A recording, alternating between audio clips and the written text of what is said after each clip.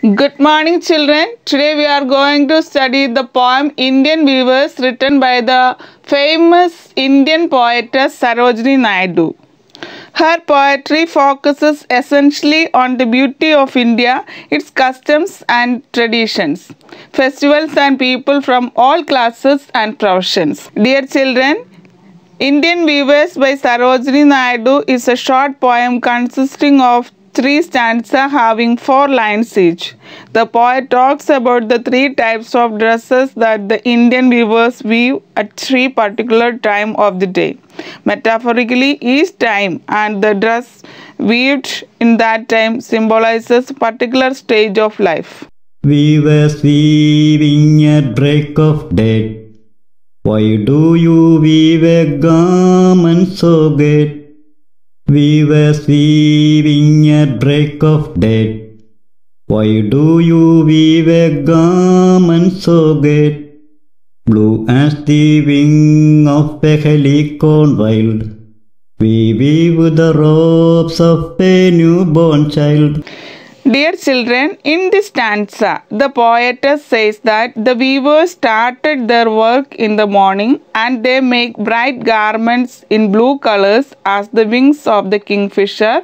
When the poetess asks the questions, weavers tell that they are weaving the garment of a newborn child.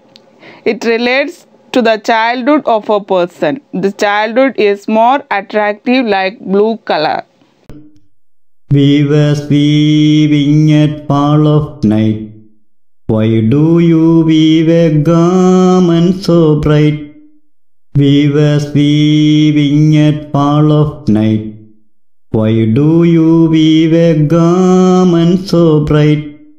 Like the plumes of a peacock, purple and green. We weave the myriad veils of a queen. Like the plumes of a peacock, purple and green.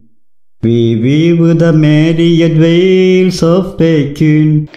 Dear children, in this stanza, the night time, the weavers weaving attractive garments in purple and green like the plums of peacock. When the poetess asks the question, they tell it is a marriage veil of a queen. This suggests the youth of a human being. Youth is a golden time of a life, energetic, enjoyable, and attractive. So, that is why the expression used in the poem, like the plums of a peacock, purple and green. Weavers weaving solemn and still. What do you weave in the moonlight chill? Weavers weaving soul a feather and white as a cloud. We weave a dead man's funeral shroud. White as a feather and white as a cloud. We weave a dead man's funeral shroud. Some and still.